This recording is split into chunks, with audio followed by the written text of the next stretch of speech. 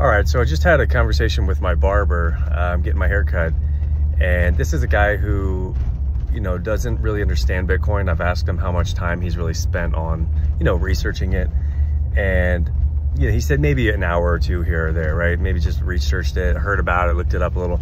Um, so he's got no skin in the game currently.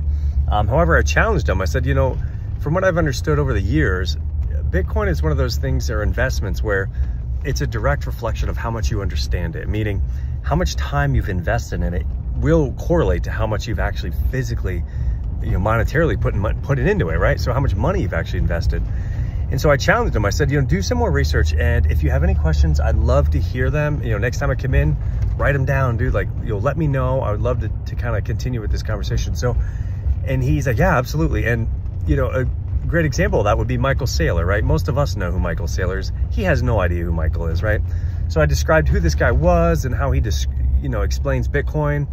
You know, he describes it in so many ways, right? Whether it's a an, an economic freedom, whether it's um, a store of value, something that uh, a means of energy, right? Storing up energy within the, the digital realm. Um, he, he describes Bitcoin in so many ways that's just brilliant. And so um, I, I give him some homework, you know, do some additional homework, listen to some of his TED Talks or podcasts and, you know, see if you can get a better understanding of what this Bitcoin thing is. And then again, if you have any questions, let me know. So, and I, I want to challenge you guys the same thing. If you have friends or family, people that you truly care about, um, don't stop the conversation. Be humble and continue to educate because honestly, as you guys know, those of you who have done your homework, who have put the time in and invested in this asset, it's not going anywhere. As we know, Fidelity, BlackRock, all the nine ETFs and those that are continually being applied for and coming are not going anywhere. And so I just, I implore you, continue to move forward, keep educating the public and especially those that you love um, and care about, your friends and family.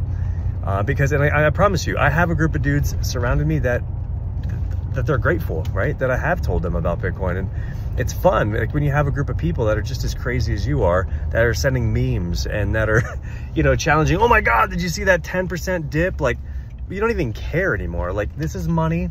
And this is another thing I want to challenge you. Do not put any money in that you cannot afford to lose. And what I mean by that is please don't take out a, a loan. Please don't mortgage your house. Use your rent money. Don't use any money that you need for food or bills simply put money in that you're afford that you're okay to losing, right?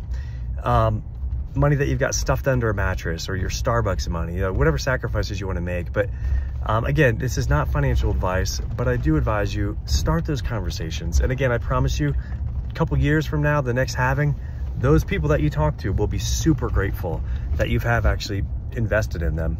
All right, guys, I hope you have a great day and chat soon.